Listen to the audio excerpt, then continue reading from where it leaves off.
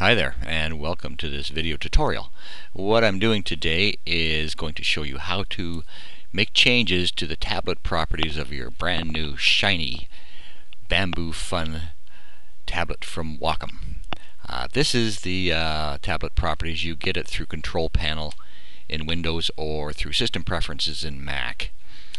Okay, you've got some tabs up here. You've got a pen and a mouse and a pop-up menu and a tablet. So we're going to just go through each one of these. It doesn't take any time at all to do this, really. Okay, the pen. The pen has an eraser with its uh, with pressure you want on it. You've got a couple switches. You can change what they do, and you got the bottom tip feel. Double-click distance, click sound you want it. You want pen mode or mouse mode, and you got an advanced tab, which I always leave the way it, it is. So the eraser. I want to have the eraser a bit heavy. This one here, the top thing, if you drop this menu down, I'm going to make this a pop-up menu, which we will finish up later. The bottom one I'm going to make into a keystroke, and the keystroke is going to be space. So that means in, in uh, Painter or in uh, Photoshop I can just press the bottom button and scroll around my screen easily. Tip feel, uh, I need to have that firm as well. Double click distance, uh, I'm going to make that bigger. I'm not going to turn on the click sound because it drives you absolutely buggy and I'm not going to have it as uh, a mouse. Now the mouse, this mouse, and here it is right here, is a little rocket ship. You can see it zooming across the screen. It goes too fast for me.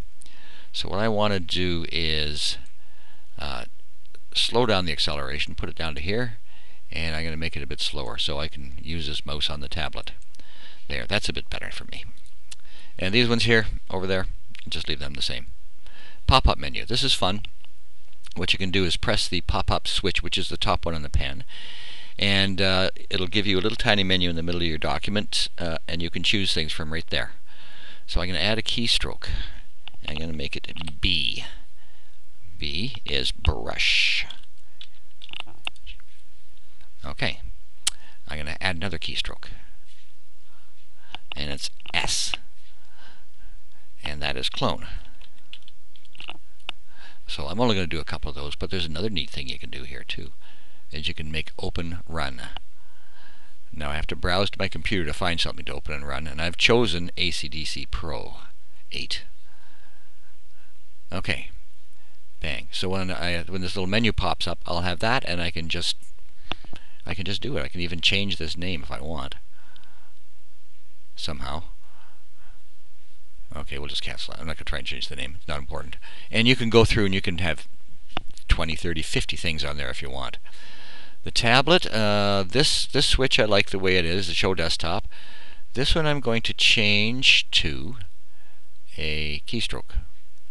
And it's going to be Control Shift N or Command Shift N on your Mac. And that's new layer. And you type the uh, name in there. This one over here, I'm going to change it to a keystroke as well. And it's going to be Control A. And that is select all. Okay. This one we can add another open run on it. I'm going to do that. And browse. And we'll bring this up a little bit. Ooh, up and up and Corel. Uh, where's Painter 10? There it is right there. Nope, that's PaintShop Pro. Don't want that. It's way too slow a program. Uh, there's Painter 10 right there. Okay. So I've got Painter 10 on the bottom right. I've got Select All top right, New Layer top left, and Show Desktop bottom left. The touch ring, you've got these choices, and I'm just going to leave it at zoom. Probably the best. So that's all there is to doing it. I'm finished. Now I'm going to uh, go into a document and we'll take a look at how these things work. Hello, here is my document. This is Max the Wonder Dog. He's my little Staffordshire Bull Terrier. A fine little dog he is too. Okay, there's a picture of Max, but I guess you probably didn't come here to see that, did you? So let's test these things out. Now what did I say? The bottom button was going to be the space key, right? And it is the space key. Well, I suppose I should zoom a bit in on Max and make sure that the space key actually does what it's supposed to do. Yeah, okay, see it works around. Now the other one, the top button, is the pop-up menu. And there it is right there. If I choose brush, now I've got a brush. And it's white. If I do it again, and do clone, I can take Max's little nose here with an alt click, and I clone his little nose over there. And the third one was Open ACDSee Pro, and we will just do that right there. Now it's going to take a little bit to load, so we'll just kind of wait patiently while it thunders along. Here it comes. And ACDSee Pro is where I store all my photographs because it's such a great great program. And you can see up here, it's My Pictures ACDSee Pro Photo Manager. There we go. Uh, so we'll just minimize that. So those things work. Uh, I know my mouse works, so now let's go to the uh, the tablet buttons and see what they do. Now the top left one was new layer. Oh, look at that, a new layer. Isn't that neat? The top right one was Control A, and you can see the little marching ants going around there, so it has been uh, selected.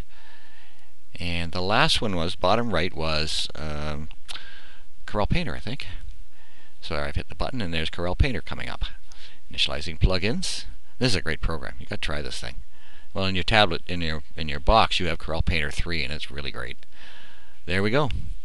So that is how you do the programming on the tablet properties, and it, it, really what it's designed to do is make your life a lot easier, and you don't have to keep running up to the keyboard all the time.